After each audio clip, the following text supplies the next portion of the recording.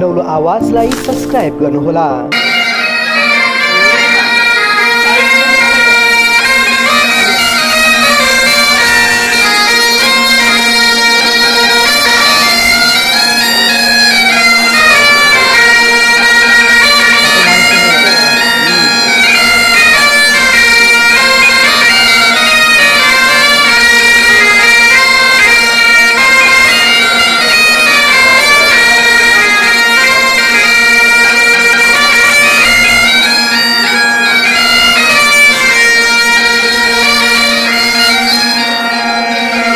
कलाकार मनिष लिम्बू।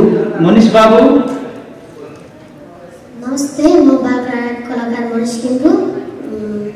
म चाहिँ आज यो स्टेजसम्म यहाँ पुग्दाखेरि चाहिँ म एकदमै धेरै खुसी छु।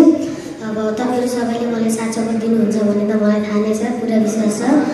आजसम्म सबैले साँचोको दिनुभएको छ यति नै भन्न चाहन्छु धन्यवाद। होइन मनिषले अब यो साथ त पाइ नै हाल्छ गीत गाएर हामीलाई सुनाउनु पनि त पऱ्यो नि त। मनिष निकै मिठो गीत पनि गाउँछ मलाई थाहा छ अब म चाहिँ उम्, बिरबिर मनकै गीत गाइदिन्छु ए ल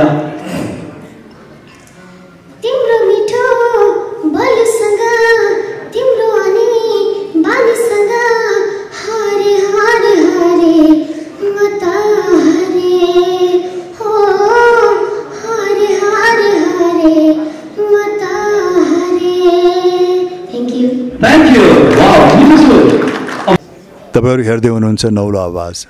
सब्सक्राइब र लाइक गर्नुहोला।